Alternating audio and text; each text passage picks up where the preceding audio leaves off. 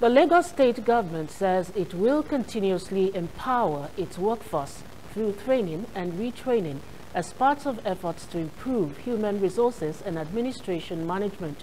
The head of service, Hakeem Muri disclosed this at a three-day retreat program for directors of admin and human resources in the Lagos State Public Service.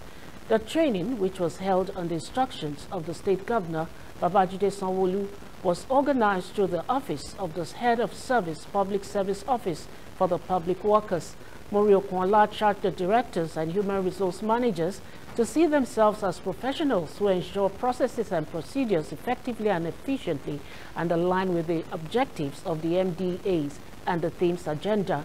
It was represented by the Permanent Secretary Public Service Office, Mrs. Sukomi, and to be managers of innovative and creative in their approach to deliverables by encouraging and ensuring that their team attend training on the learning management system and create a mutual working relationship within and around their work environment.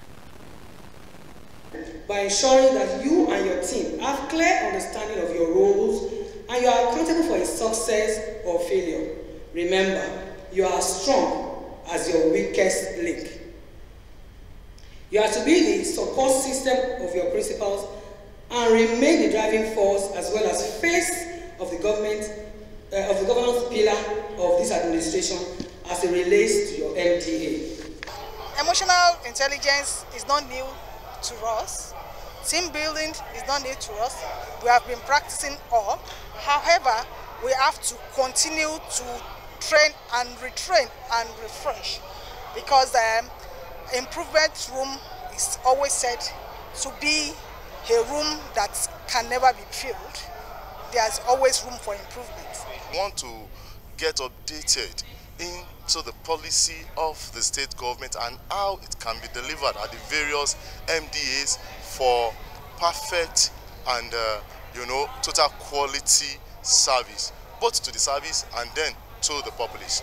The directors A and HR need to be emotionally intelligent to be able to deal with their accounting officers, that is the permanent secretaries, and by extension also be able to deal with the political heads of all agencies. This training is geared towards improving their capacity towards that so that anywhere they find themselves, any MDA that they are presently, they will discharge their, res uh, their responsibilities effectively and efficiently.